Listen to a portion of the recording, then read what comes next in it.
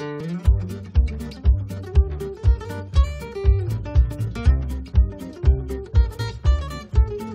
suis productrice de framboises. J'ai un hectare et euh, je fais euh, de la cueillette euh, sur cinq mois. Ça débute en juillet, ça se termine à l'automne. J'ai un pic de production sur cette période.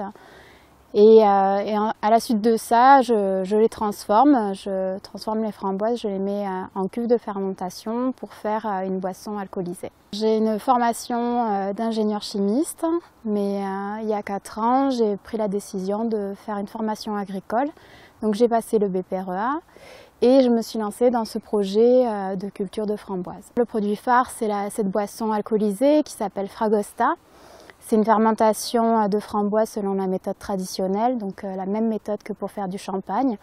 Et ça permet de valoriser au mieux euh, les framboises. C'est une création, c'est une innovation et, euh, j'en suis fière. J'ai démarré l'exploitation avec sept variétés. J'en ai choisi une qui s'adapte parfaitement aux exigences climatiques et à l'altitude. J'ai agrandi en conséquence.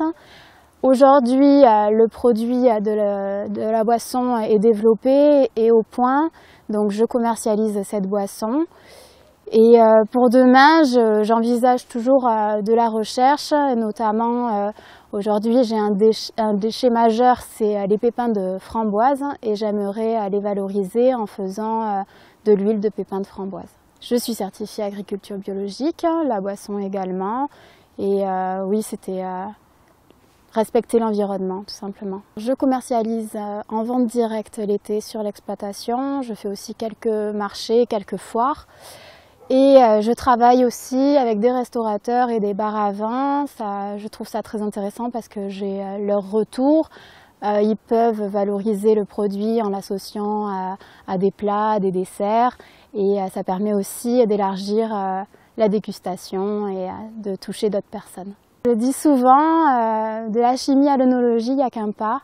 Et euh, je suis passionnée d'œnologie, je suis euh, passionnée par la culture de framboise et d'allier les deux, c'était parfait.